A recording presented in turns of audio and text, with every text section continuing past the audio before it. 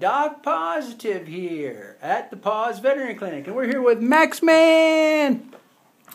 Max, his hair is getting a little wild and woolly here this spring, but Max is about six years old, and he is a Shih Tzu, and he doesn't want to hold still here, but he presented because Dad is concerned about his eyes. Now, you can see his right eye here you know, pretty nice and clear. Nice. And then if you look over here, all the matter, all the debris, everything built up on his eyeball. And we just got done doing a Schirmer tear test. A Schirmer tear test actually measures the tear production in his eye. These are small strips that are marked with gradations. You can see the one over here, there's a dye. We put that in his eye and actually wait 60 seconds and his tear film should produce uh, adequate tears so that you can see it on that strip. And Max is not producing, basically he's not producing any tears whatsoever. And so the tear film on the eye is a protective barrier. Uh, dust, pollen, all sorts of things. Uh, normally, if they land on a tear film, it washes it away from the surface of the eye, protects the eye, and keeps the eye nice and healthy. and in certain breeds of dogs, particularly dogs that have the bulging eyes, Shih Tzus, Lhasas, Boston Terriers, Pugs, and so forth, uh, it can happen in any dog, but these dogs that have what's called buphthalmos or bulging eyes are prone to KCS, keratoconjunctivitis sicca, dry eye.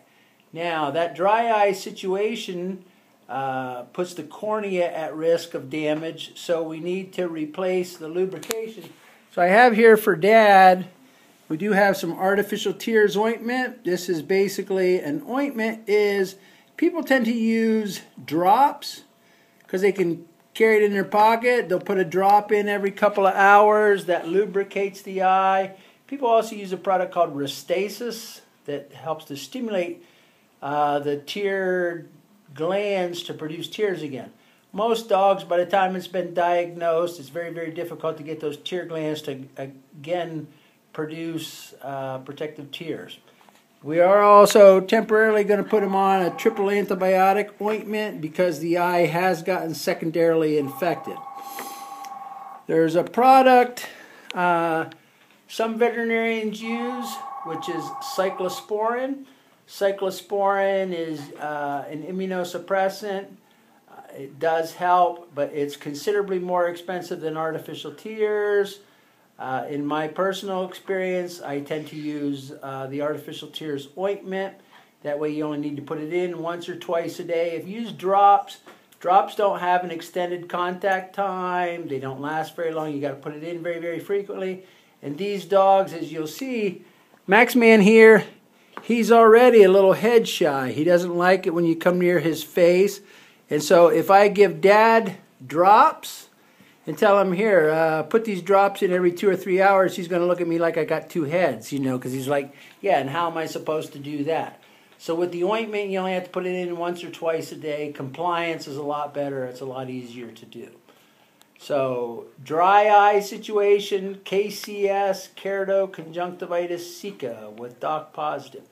Back in the day, uh, you can actually let him down for now, Lisa. So, uh, but back in the day, veterinarians, and some veterinarians probably still do, they would actually do a surgery where they would take some salivary ducts uh, or salivary glands, produce saliva, and those uh, dump into the mouth. So some veterinarians sometime somewhere figured out that if they rerouted those salivary ducts, it's very, very fine, detailed, delicate surgery but they would reroute the salivary ducts to the eyelids and the eyeballs. So basically, it would keep the eyes lubricated with spit, saliva. It works, but it's very, very uh, difficult, time consuming, and uh, almost microsurgery. So, Dad, we're going to go with the artificial tears ointment and the eye antibiotic. Bye now.